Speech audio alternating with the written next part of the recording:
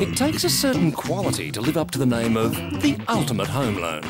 To start with, the discount on the interest rate was enough to get me interested. But then I saw what we were saving in other areas on the offset account, credit cards, savings account, even insurance. For a guy like me, it's all about finding the ultimate way.